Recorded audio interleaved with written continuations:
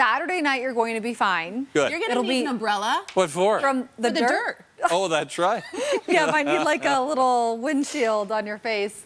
Well, this is a beautiful sunset tonight. So what we're tracking from Barbie, beautiful sunset. She said a little bit of rain had just come through the Ogden Valley. Beautiful. You can see the mountains up in the distance. But Salt Lake City right now, 67 degrees. We do have our wind out of the north at about 10 miles per hour currently. But when you wake up tomorrow morning, you'll see mostly cloudy sky here along the Wasatch Front. So it'll be another cloudy start near 50 degrees early tomorrow morning. By 10 a.m., you're back into the 60s.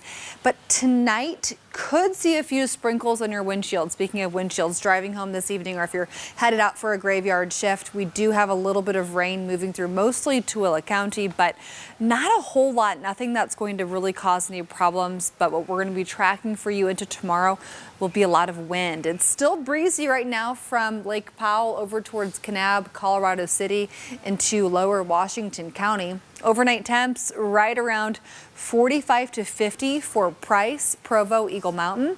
For Tooele, Salt Lake, and Ogden tomorrow morning near 50 degrees.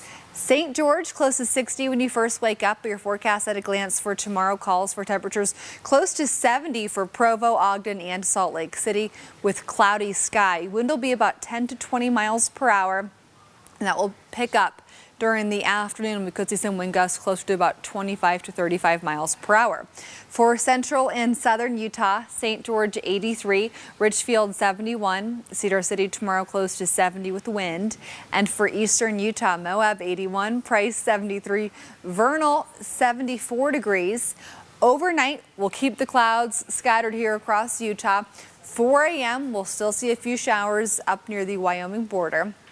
Then we're going to continue with a better chance for some rain to develop here in the valleys late Thursday into early Friday.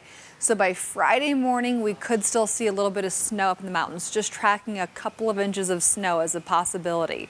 Then we'll continue into Friday afternoon, a great start to the weekend. By Saturday night, you're dry, but by Sunday night, that's when we're going to have another weak system brushing by. So rain projection over the next 48 hours, which most of this will be Thursday night into early Friday. We're tracking all areas of green. That is less than about a quarter inch of rain. So not a whole lot. A lot of this is closer to about a tenth of an inch of rain. Better than nothing, but not great. For St. George, you're close to 80 degrees Thursday and Friday.